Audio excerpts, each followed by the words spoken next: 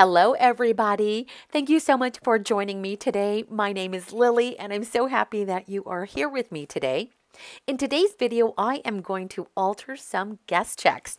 So if you would like to play along, grab some guest checks or grab some tags or just cut down some pieces of paper in about a four by six size. Whatever you have, let's play along.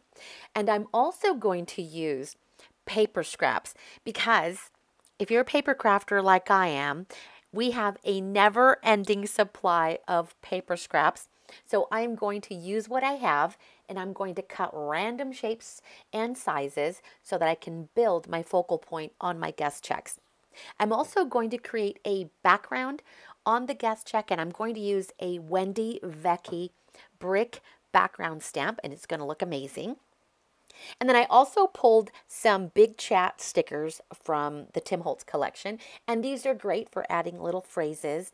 But whatever you have, any word stickers will do, or you can write your own as well. So this is a great opportunity to get creative, but the main thing we want to do is use up our paper scraps and and use some of those guest checks and I have plenty of guest checks, and so I want to create on them. I have been stamping on them lately, but I wanted to do a little bit more than just a stamped image. I wanted to get creative, messy, and a little bit of mixed media on these guest checks.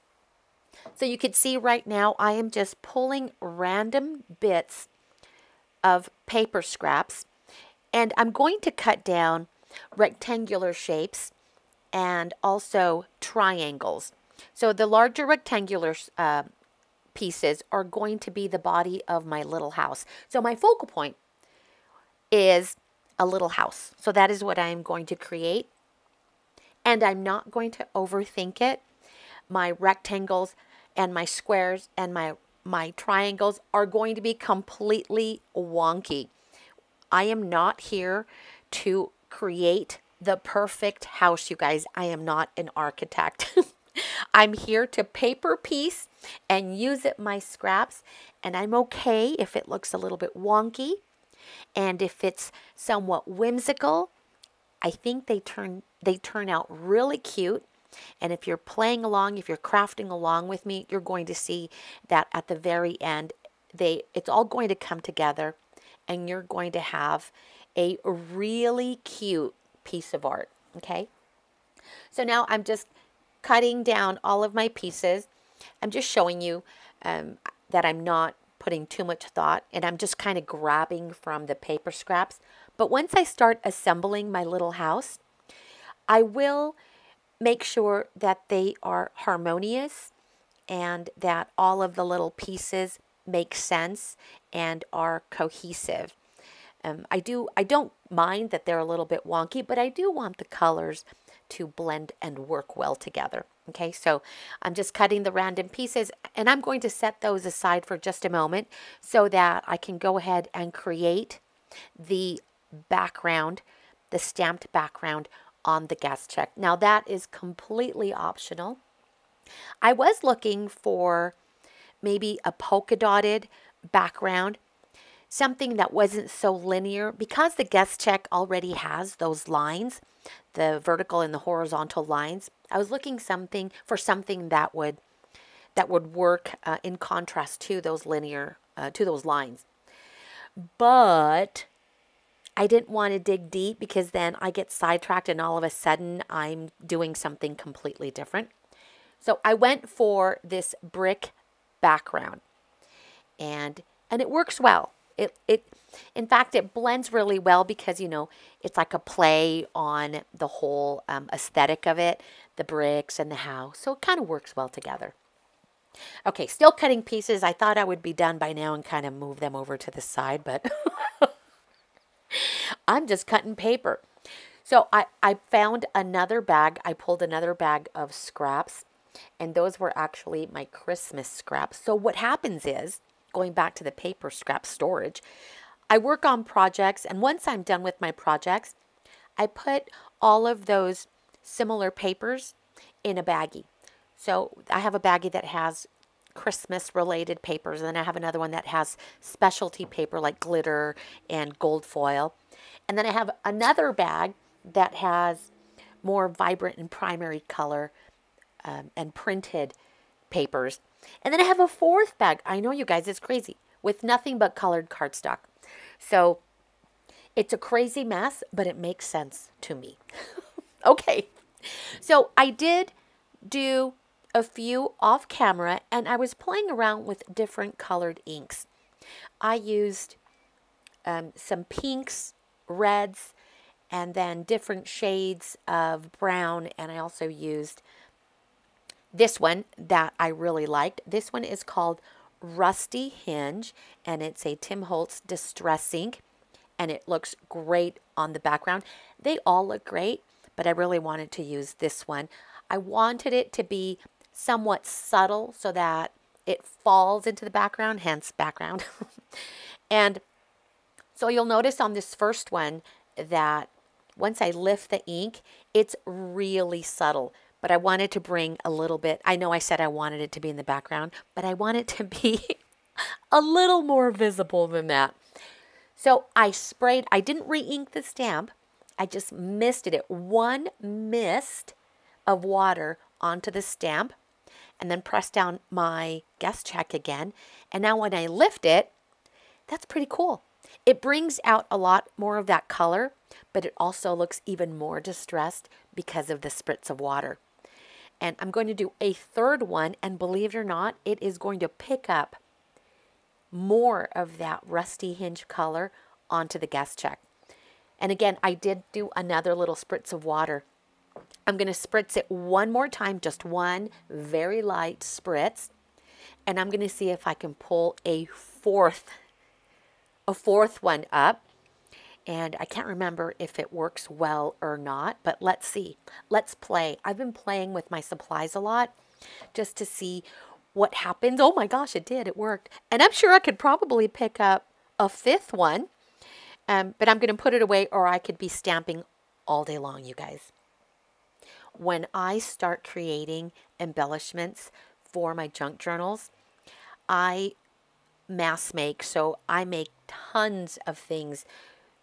So I will sit at my craft table and I could easily go through an entire booklet of the guest checks just playing with backgrounds. So, and that's what I've been doing, kind of playing and experimenting um, to see how things turn out. And if it doesn't work out, well, then I learned my lesson and we can move on to something else. Okay, this is the fun part. So now that we have our guest checks and the background, now it's time to paper piece these cute little houses. And I'm going to take my, just my pieces and kind of coordinating and bringing them all together. And if you guys have watched or let me start over. I invite you to go watch my whimsical envelope little house pockets, you guys. That is where I got started on making whimsical houses. But instead of using guest checks, I used a an envelope, a number 10 envelope, and I also used window envelopes and just business reply envelopes. But that turned out to be so much fun because what I did is I took a plain envelope and created these super cute whimsical houses by paper piecing and they turned out so nice.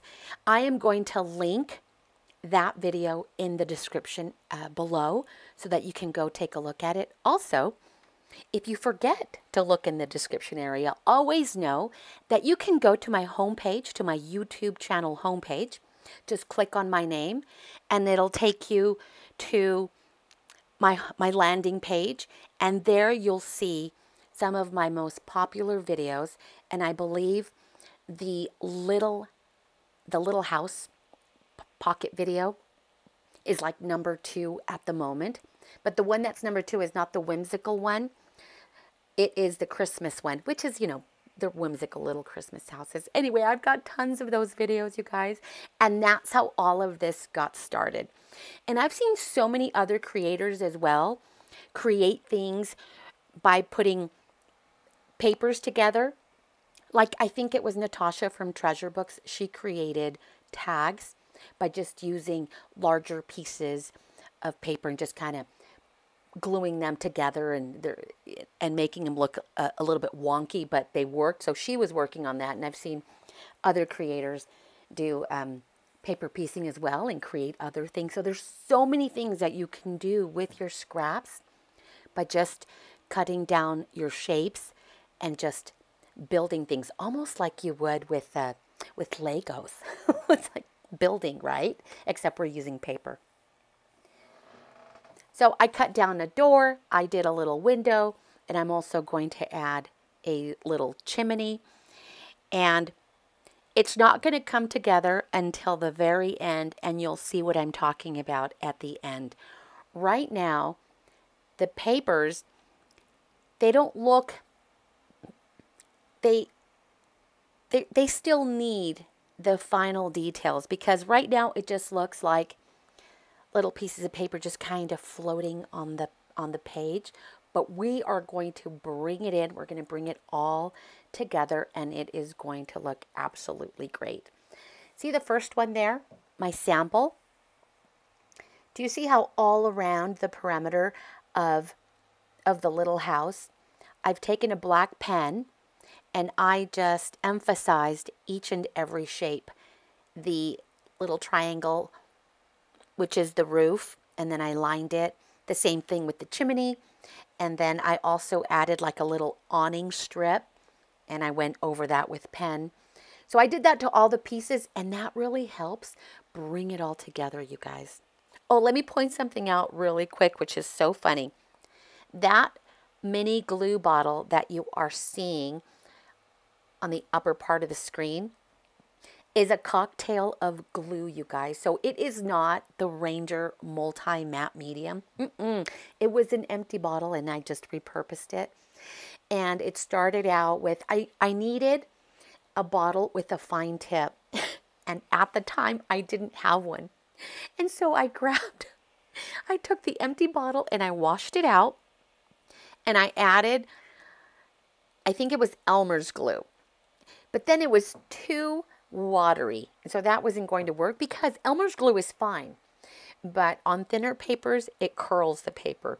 So it was too, too, too watered, too watery. So then, but I used some of it up. And then I added tacky glue because Aleene's tacky glue, as as the name says, it's tacky and it's a thicker glue than the Elmer's. So then I added tacky glue in there to kind of thicken up the Elmer's that was in there. but the Elmer's glue won, and so it was still really, really, really watery. Plus, it was hard to get the tacky glue into that little bottle without making a huge mess.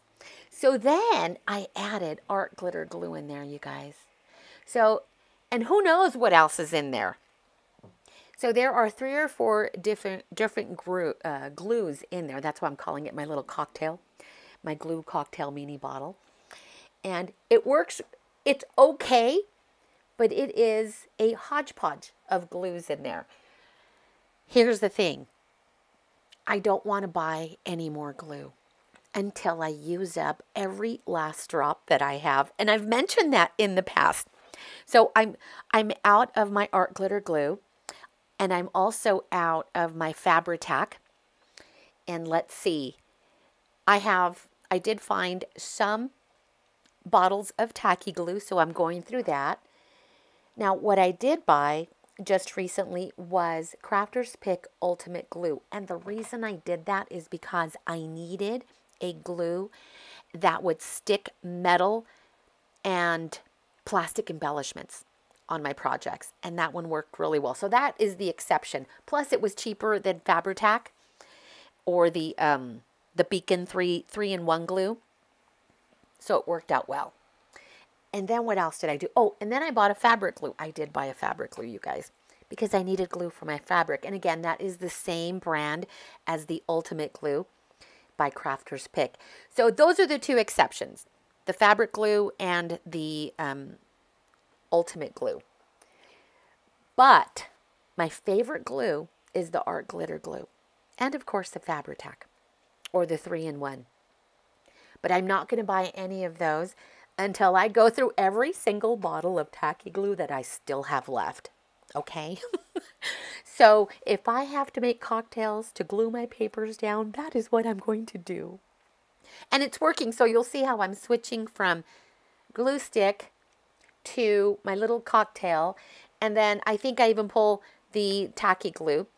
Tacky glue works great on heavier cardstock pieces because it really holds it down. It holds on thinner, it, it works well on thinner pa papers as well, but I'm using it for the heavier cardstock pieces because that other cocktail, because it's kind of watery, it was it wasn't completely sticking it down. It was kind of curling up in the ends. And so the cocktail glue I'm using for lightweight pieces of paper. Yes, I know I'm all over the place when it comes to glue, but I'm reaching for whatever is on my desk, you guys.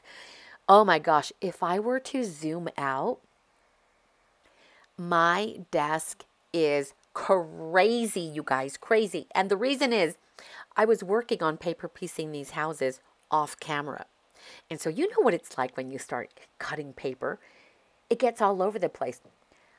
My craft area is a, what is it, a six foot, like standard folding table. That's what I use as my craft table. But I have craft creep big time.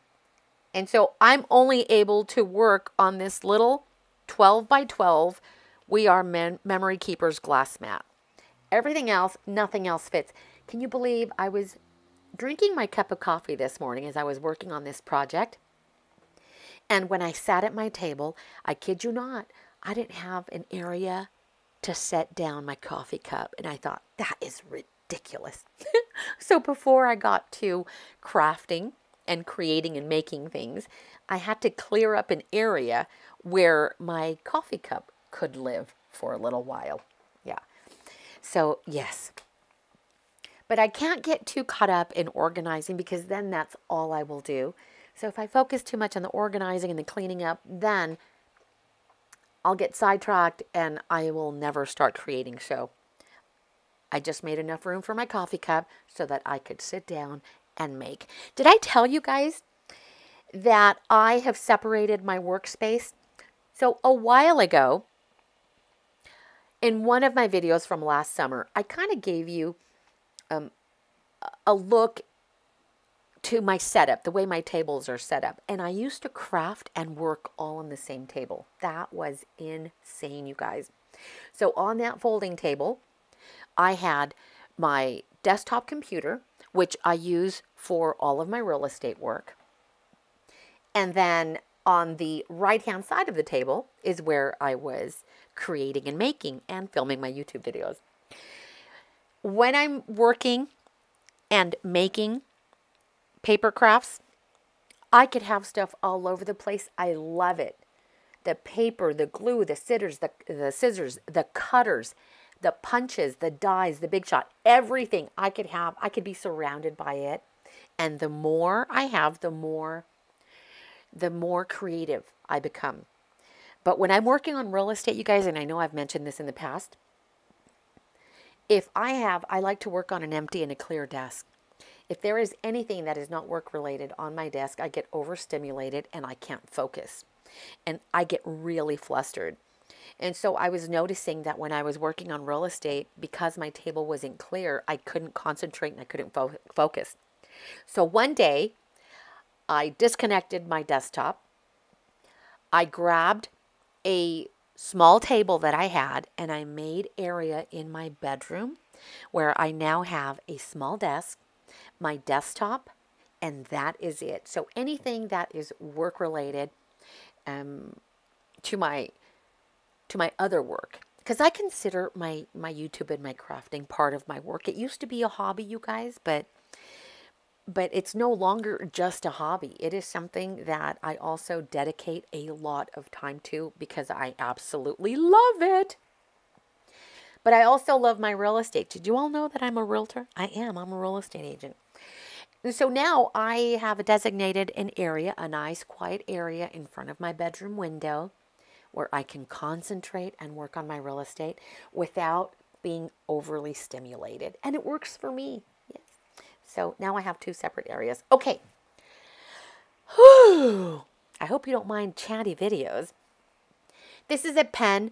It's called R2, and I picked it up at the Dollar Tree, and it is lovely. It is so, it's so black. It is so smooth. And it's a really good pen. Cost me a dollar twenty-five. So, and I really, really like it.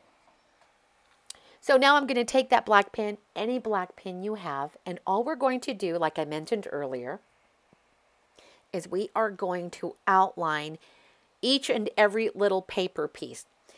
Because right now, the little houses, they look unfinished. And so by doing this black outline, it's going to bring it all together and it's going to look complete and it's going to look finished. So just going around, and you can go around it as many times as you want. I think white pen would also look nice, especially on the darker, the darker colored paper pieces. A white pen would look nice, even a gold pen, but black, black is great.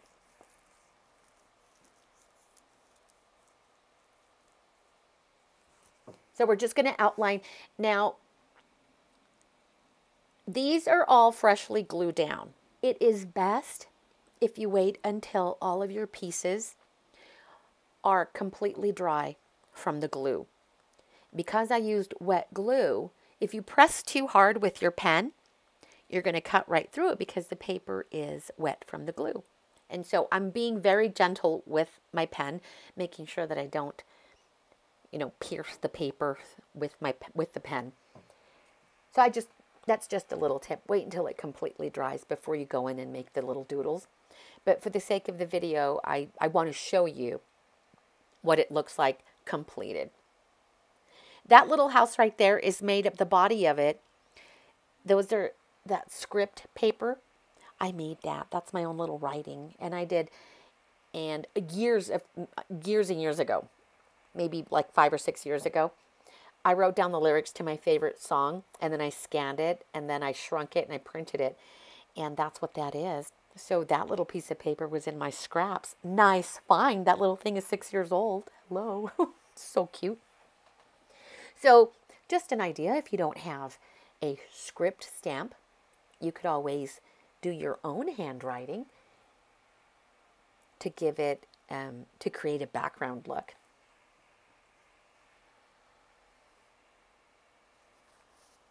On the chimney there, I added a little zigzag line just to give that chimney a little character. These turned out so cute, you guys. Another idea I had was to line the back of the guest check so that you can use these as a journaling spot because on the back it, they did get inky and there you know there's there's some ink stain on it possibly some paint from other projects I've been working on. It doesn't bother me because these are like mixed media and it shows that they are handmade and hand created.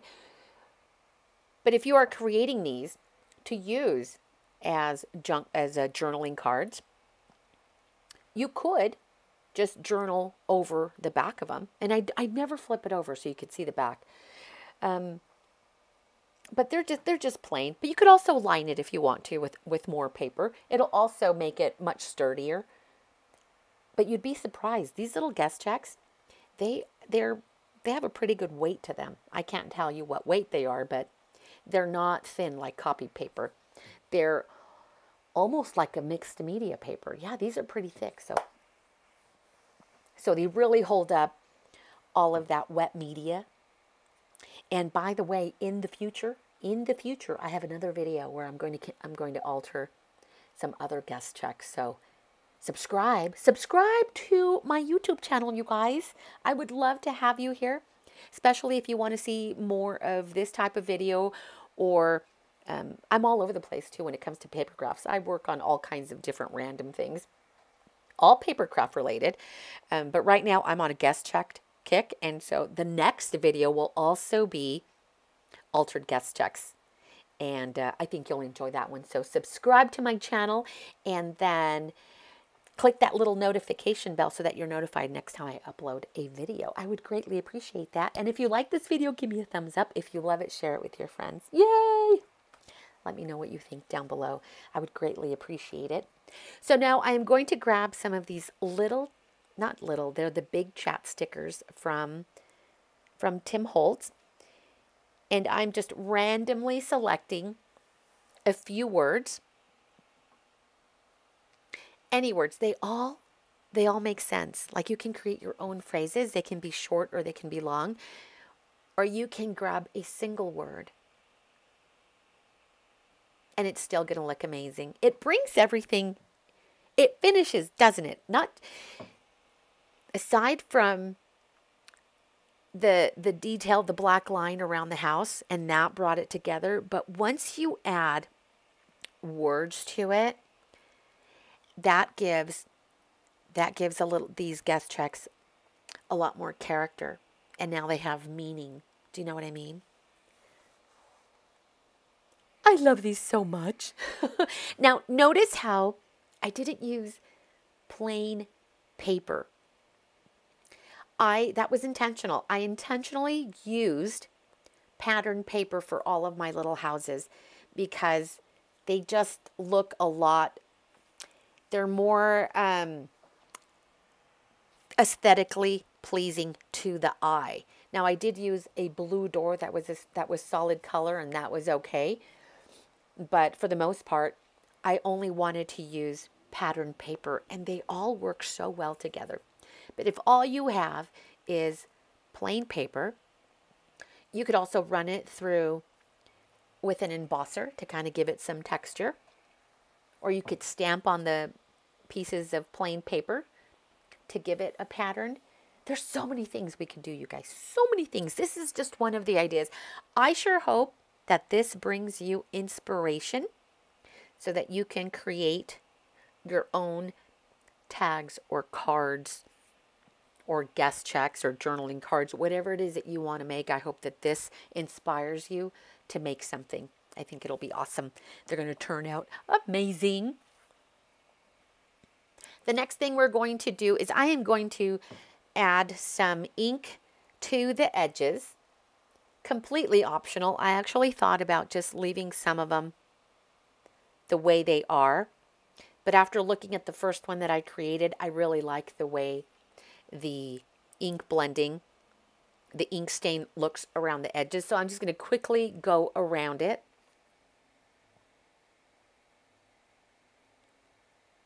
Because I am working on a folding table, it shakes a little bit. And I try to be really, and I try to be careful and mindful of that. So I'm kind of going easy on that so that I don't, I don't shake it too bad. I'm just doing side by side so you could see how um, different they look, but they still look amazing. Completely optional. Not everything has to be distressed. It's okay to have white space. Sometimes, though, I do get carried away and I want to ink up all the edges on everything. And then there's other times where I don't use my blending tool at all. So these journaling tags are going to be included in some new junk journals that I am working on.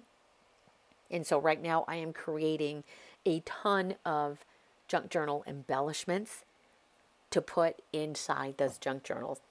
And those junk journals are almost done.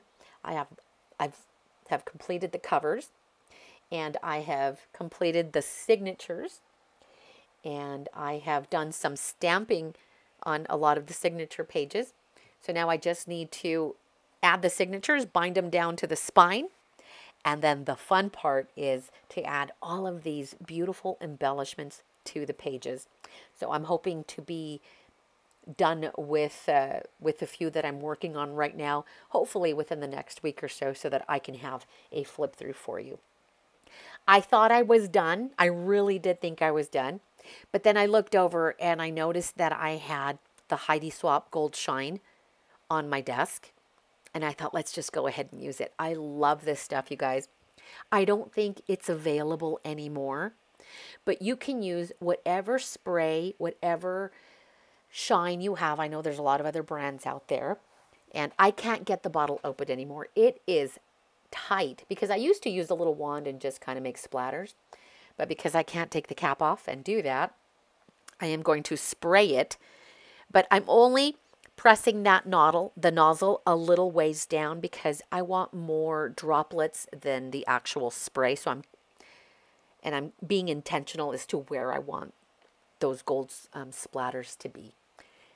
But that's what it needed. I love it. You're going to see how beautiful they look. I'm going to put them on this white background so that you can see clearly how they are turning out. Look at them, you guys. Aren't they gorgeous? From scraps of paper and a plain guest check. I love how they turned out and I hope you guys enjoyed it. Thank you so much for being here with me and I hope that you are here for the next one that I make for altered guest checks. We're going to have so much fun again. You guys take care and I will see you next time. Thank you. Bye.